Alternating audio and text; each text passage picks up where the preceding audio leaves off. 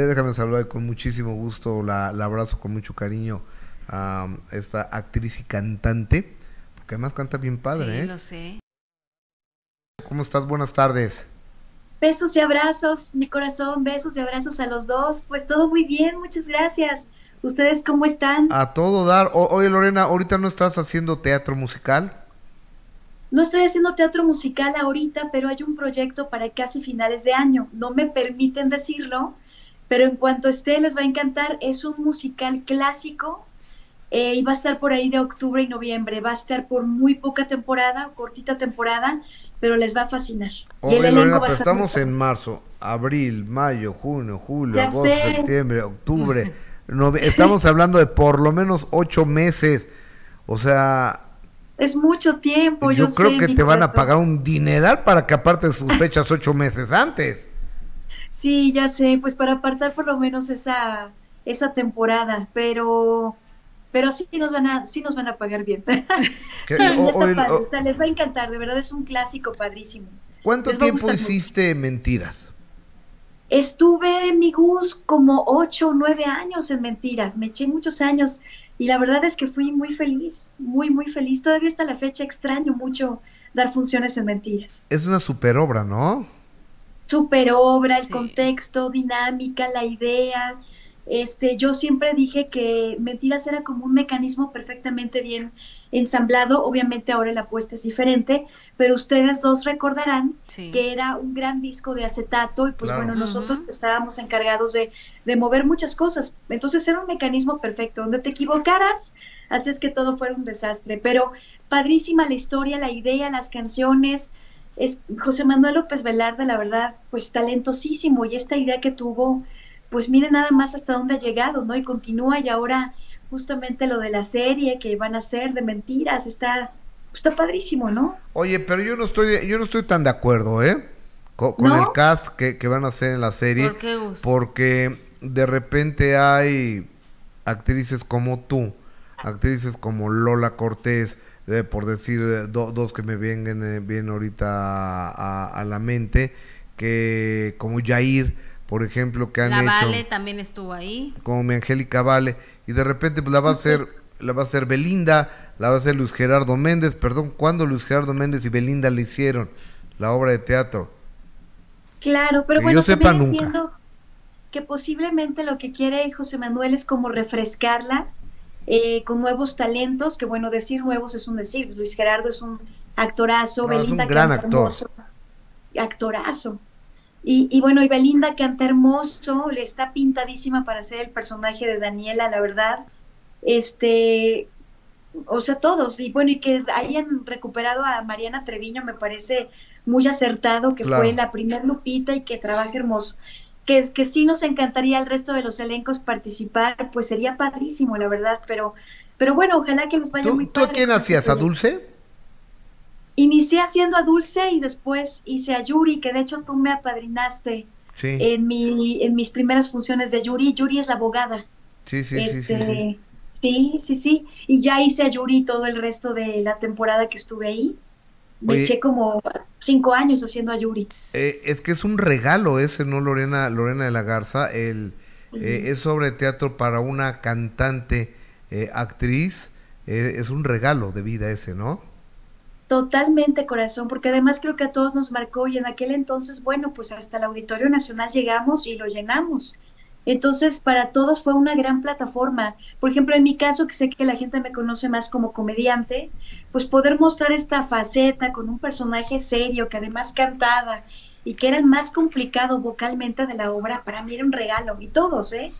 Entonces sí, eh, era padrísimo ir a hacer esta, esta obra y es, es muy padre y como cantante y actor también es muy lindo porque es interpretativa, ¿no? Las canciones te hacen además interpretar con garra, entonces, bueno, por partida doble, la verdad es que fue un regalo poder estar ahí. Qué bien. O- Sí. Oye, Lorena, ahora eh, eh, entrando eh, en temas personales, si, me lo, si nos das la oportunidad, ¿qué fue lo que pasó? ¿Qué onda, Lorena? Si Tú eres una muchacha tan trabajadora, tan cumplida, Profesional. tan profesional, tan Gracias. guapa. O sea, ¿por qué, ¿por qué tienes tan mala suerte de escoger eh, galanes? sí, ¿verdad? La verdad es que creo que mi cupido anda drogado. sí, no tengo, tengo un tino, pero creo que en esta última vez me gradué. Así, me gradué, me gradué. Creo que no, no han funcionado relaciones, pero no ha sido nunca en un contexto de tanta agresión y tanta violencia. En, alguna vez en, un programa tuyo platicábamos de un exnovio que era muy celoso, muy, pero no fue mala persona, ¿saben? Era, tenía un rollo de celos que, que ya, ya, ya, ya rayaba en, en una celotipia enferma, pero no como hacia mí, sino hacia la gente que se me acercaba pero siempre me, puedo jactar de la verdad haber tenido relaciones bonitas, basadas en mucho respeto, mucho amor, y que nunca se aprovecharan de mi profesión. Y creo que en esta ocasión eh, no peco de inocente, pero no la vi venir, se los juro. Este, yo a veces, y ayer justamente manejando, venía como haciendo esta recopilación de los daños, en que uno cree que las personas van a, a pensar o a reaccionar como uno mismo piensa y reacciona. Y es un grave error porque finalmente cada persona viene con un bagaje diferente. Pero yo sí estoy en algo, así sea con mis amigos, en la carrera, en el trabajo, en lo que sea, doy mi 100 y me entrego. Yo no concibo la vida por encimita. Si estoy contigo, me entrego bien, o sea, a fondo, te quiero, te quiero, y vamos a llevar una relación bien formal, bonita. Pero esto ha rebasado totales mis expectativas en la película de terror que más me pude haber contado de mi vida esta ha sido la peor, así la ¿Quién, peor. La ¿quién es este fulano? ¿De dónde salió? Bueno, les platico rápidamente. Este, este cuate, esta persona, eh, ha sido alguien que siempre ha querido pertenecer al medio, en algún momento eh, tuvo sus eh, rollos de actuar para teatro en corto, cosas muy sencillas, sobre todo ha modelado, pues por lo que tengo entendido, ropa interior y tal. Él realmente es administrador de restaurantes, como actor no funcionó, y él me contacta a través de redes sociales porque supuestamente, entre grandes comillas, él estaba produciendo una obra de teatro que se llamó Serenata Mis Muertos. Entonces me contacta para la obra y voy y hago una lectura junto con la productora que realmente será la productora y el autor de Serenata Mis Muertos, que es Iones Cervantes. Y ahí es que yo lo conozco, acepto el trabajo y empiezo en esta temporada que fue que a finales del 2021 me parece. Y así es como lo conozco y realmente empieza una relación entre productor y actriz y después entre amigo y amiga porque nos hicimos muy amigos. Pero bueno, pues así es como empieza. Ya después van cayendo muchos, y muchas verdades y ya me dicen que él puso dos pesos para una producción, cuando él a mí me había dicho que había puesto 80 mil. Y la verdad es que los productores reales son los que se la curtieron para producir y él se levantaba el cuello con algo que no era verdad. O sea, ya desde ahí empezamos mal, pero pues yo no lo sabía. Ok, oye, y este, ¿y cuál fue el punto de quiebre o en qué momento terminas con este cuate porque te hizo la vida imposible, ¿no? ¿Cómo se llama él? Se llama Fernando. Fernando. Okay. Este, sí, caray, pues la verdad, mira, hubieron muchos indicativos que fueron de mi parte graves errores y sé que soy responsable y estoy de alguna manera, se los digo abiertamente, pagando por ello. Este, desde un inicio, al mes y medio, hubo una situación de agresión de parte suya que yo la pasé por alto y se la perdoné. O sea, te golpeó. no me golpeó, pero sí fue un maltrato verbal de gritos, que eso pues no se debe de normalizar. Siempre con él fue eso, siempre fue eso, maltrato verbal, eh, tontearme, mensearme todo el tiempo. Entonces, bueno, este, yo lo dejo pasar por alto, pero él había buscado una revista de espectáculos ya para decir lo que había sucedido, porque yo en esa época lo corté. y después lo perdono, que de eso, mi Gus, hacen mención en, tu programa eh, hace unos días en Grupo Imagen, donde yo efectivamente trato de como de, eh, de, sostener la, la situación como se había dado y de perdonarlo públicamente y decir, sí, él se equivocó, pero bueno, pues ya todo bien, no pasa nada. Continuamos la relación, retomamos la relación con este asunto de que él busca una revista de espectáculos. Yo le digo que por qué o que para qué, pero pues bueno, continuamos la relación bien, pero en el Inter me empiezo a dar cuenta de muchas cosas.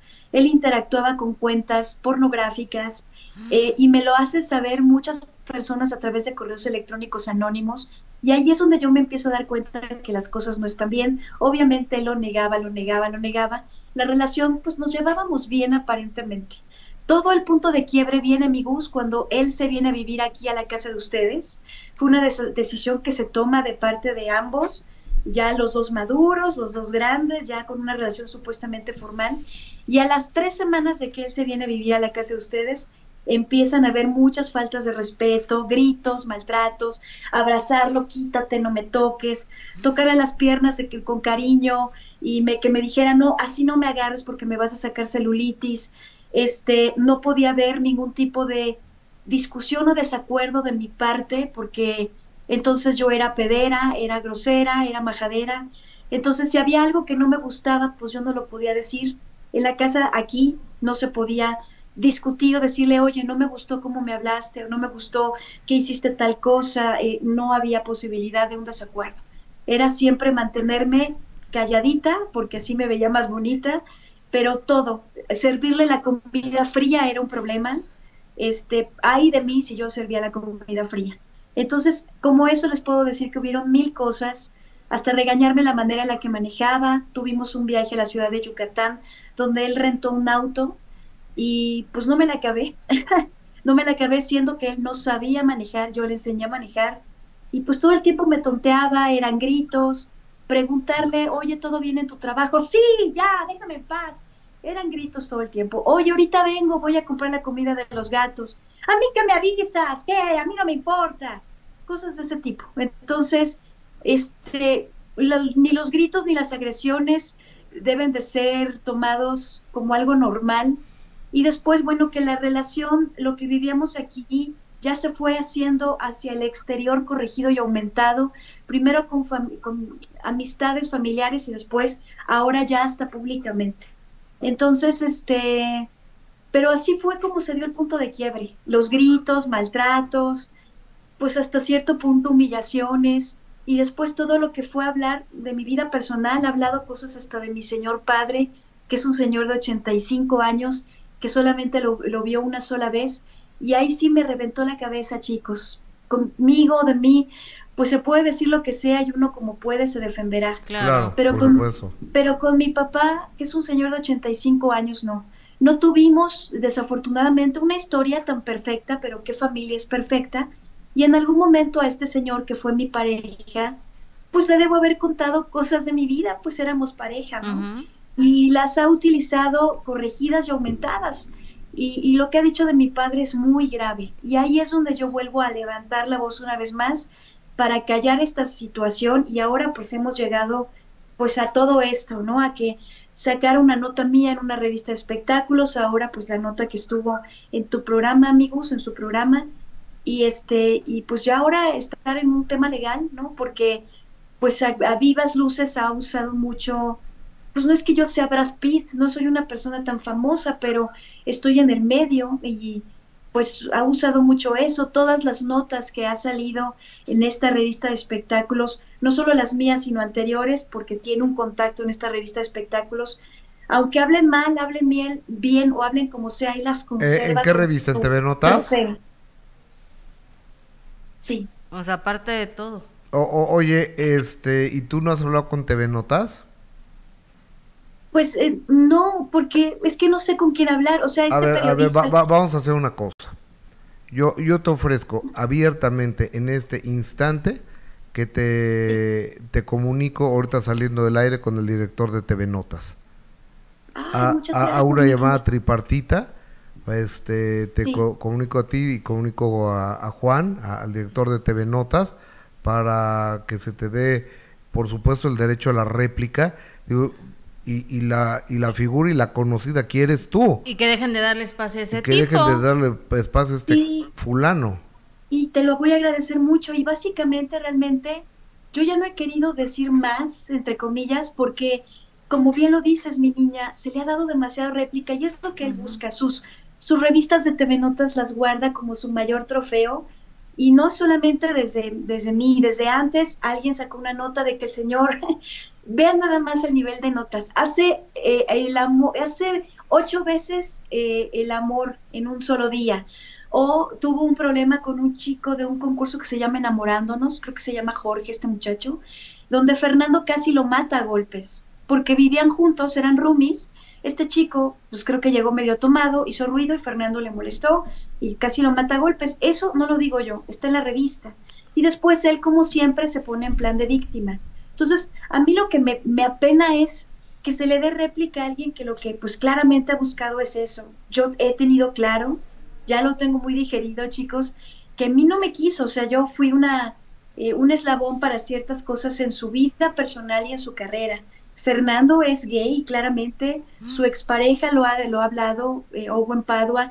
Owen ya hizo una declaración en un video en YouTube muy fuerte, es muy largo el contenido. Si gustan, se los proporciono, donde también habla de mí. Y este, y pues que él es gay, él no es bisexual, pero pero bueno, aquí eso finalmente las preferencias no importan, lo que yo haya creído, no haya creído de él, no importa. Yo ya he hablado de esta situación de violencia que él ha desacreditado, ha desacreditado a mi familia. Yo ya lo que quiero es que esto pare. Tengo muchas cosas más bonitas que hablar de mi carrera. Ustedes lo saben, que un chisme de un cuate que lo que ha buscado siempre es colgarse. Entonces, estoy haciendo un programa bien bonito que se llama Tal para Cual, en una tercera temporada. Estoy cerrando un contrato bien padre eh, eh, con una eh, empresa eh, de venta de, artículos muy bonito. Este, estoy empezando con un proyecto bien padre que se llama Entre ellas, que reúne a varias actrices cómicas. Vamos a estar de gira. Mi gusto, pues yo no hablo nunca por cuestiones de chismes, no me gusta. Soy este nivel bajo en ese sentido. Claro. Entonces, pues, la verdad, yo ya quiero que esto pare. Y entiendo al periodista de TV Notas que lo hace, porque pues finalmente... o, sea, pero es que eh, el, el, golpearte a ti, a darte el derecho a la réplica, este, perdón, pero no es correcto. Entonces yo tengo la, la, suerte de tener una buena amistad con el director general de, de TV Notas, con la directora, con la coordinadora editorial, con, con Diana, con el nuevo dueño de TV Notas, y sabes qué, perdón, pero esto es injusto. Entonces yo, yo me ofrezco como, como salvoconducto para que dialogues con ellos y que se te abra un espacio a ti. ¿Te parece, Lore? Pero claro que sí, te lo agradezco mucho, Gustavo. Ah, ahorita en unos minutos saliendo te marco. Claro que sí, muchas gracias. Te mando un abrazo. Igualmente, gracias, gracias por Lore. Cuídate este mucho, Lorena. Gracias, buenas tardes. Besos para los dos, los quiero. Bendiciones. Bye, mija.